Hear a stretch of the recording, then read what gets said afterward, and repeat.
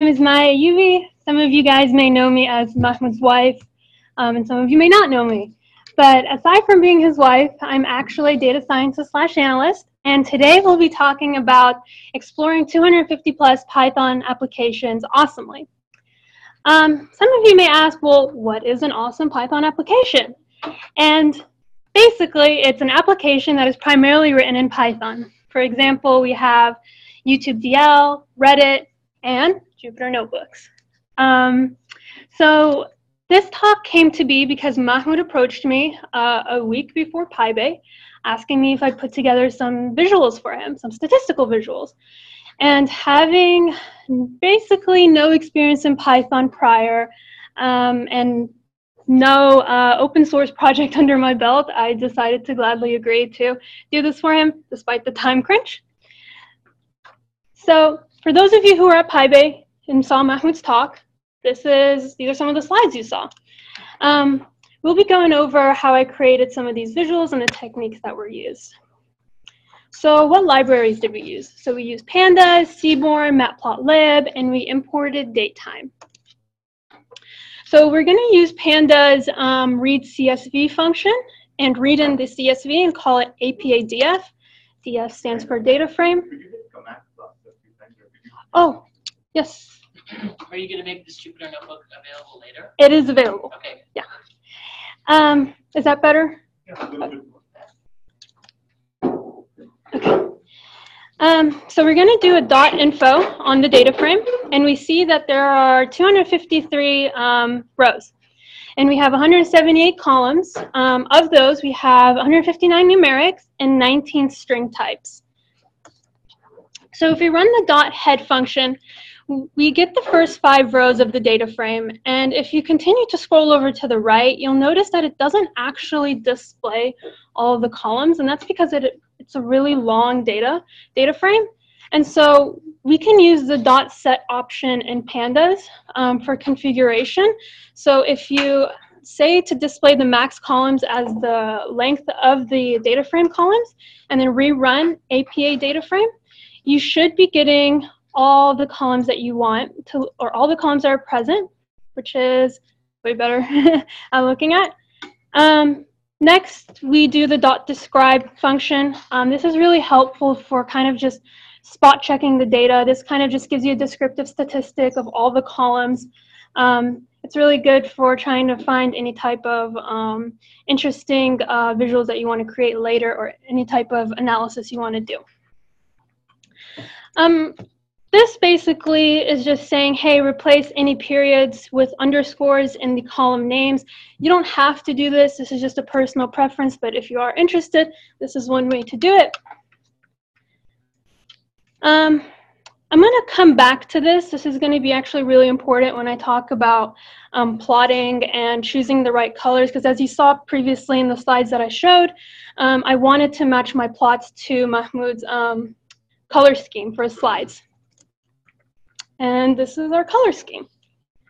So let's start with one of the biggest topics in Python right now, Python 3 compatibility.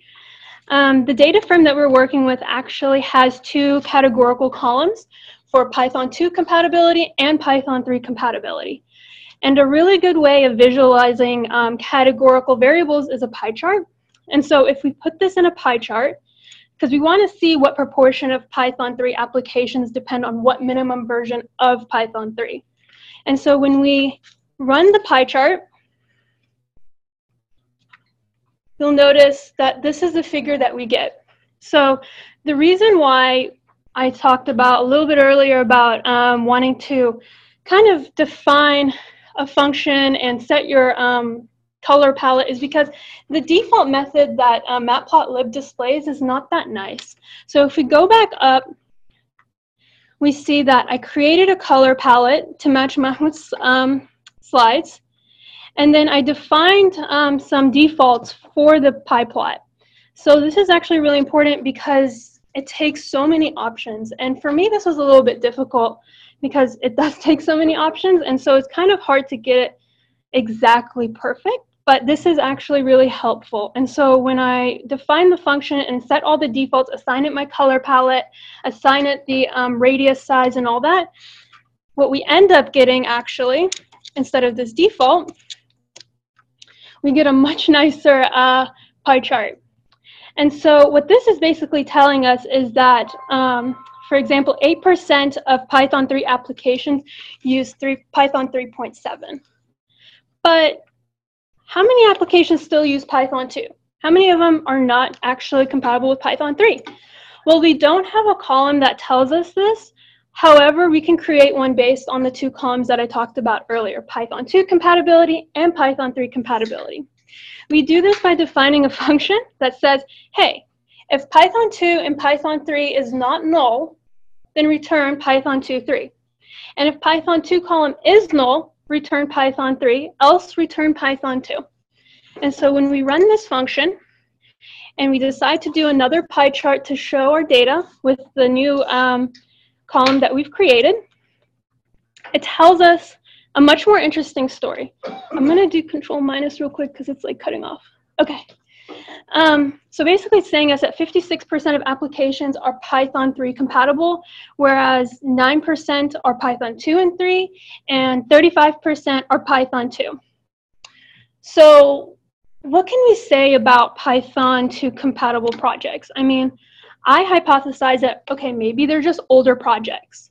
Um, so Fortunately, Mahmoud actually cloned the repos and grab the data of the first commit date of each project. And so we actually have a start time column that we can work with. And so if we run it, saying grab first commit and Python, Python 2, 3 compat, we actually see, yeah, we do have um, a good um, column we can work with us with for time. And so I'm going to run a swarm plot. And for those of you who aren't very knowledgeable of swarm plot, it's a Seaborn um, it's, it's built in Seaborn. It's built on top of Matplotlib, and it provides a much nicer visual than just plotting anything in Matplotlib, basically. Um, so it takes one um, categorical variable, and it takes one numeric. Um, and a swarm plot's really good for this because it's really good at uh, plotting independent categorical points along a continuous axis. And so if we run that, okay, so we have an error um, and this basically is telling us that, right, so I don't know if you can read it, but it says neither the x nor y variable appears to be numeric. So I had initially thought that the first commit would be the numeric variable, but apparently not. So let's just see what type it is, and we do this by doing um, apadf.dtypes for first commit. And we notice it is a um, object type. So I want to convert that to a numeric. So fortunately, I imported datetime earlier, and I can convert this from an object type to a datetime, which to a date, which basically becomes a numeric. So if you look at the data again, you see that it does look different than it did previously, so it means that you know the conversion worked. Um, and so now if we retry to run our swarm plot with this new variable, Okay, so we have some more issues. And this kind of boggled my mind at first. I was like, what is going on here? but it seems like the issue is something to do with the dates, right? Because obviously Python did not exist in the year 1680. So, um, so what we do actually is let's just take a look at the these. Let's do set option again, panda set option to look at all of the rows for first commit and see what's going on. So we notice, right, uh, row number 24, we notice that we have an NAT, NAT, not a time. And so I said, okay, well, what if we remove those and see how it goes?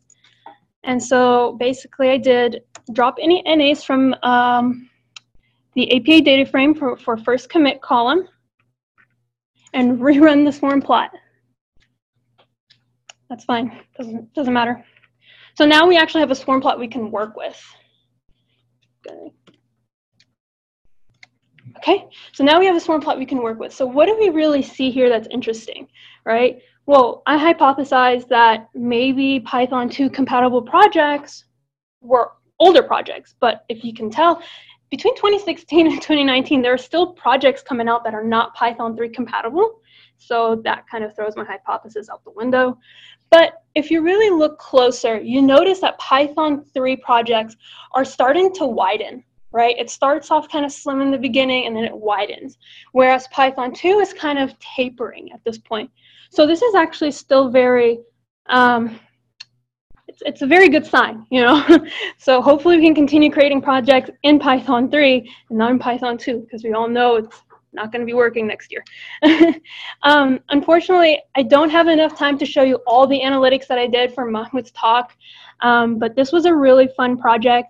And if you guys are interested in, you know, contributing, this is actually up on GitHub in Mahmoud's GitHub, Mahmoud slash awesome Python applications. And if you're interested in actually seeing the slides Mahmoud did, this is the link to it. Take a picture if you want. Um, and if you want to contact me, I have my email, my Twitter, my GitHub, and um, any and any type of collaboration on this project is really welcome. I'm still a beginner, um, so I would love to learn more from other fellow um, Pythonists. Thank you so much.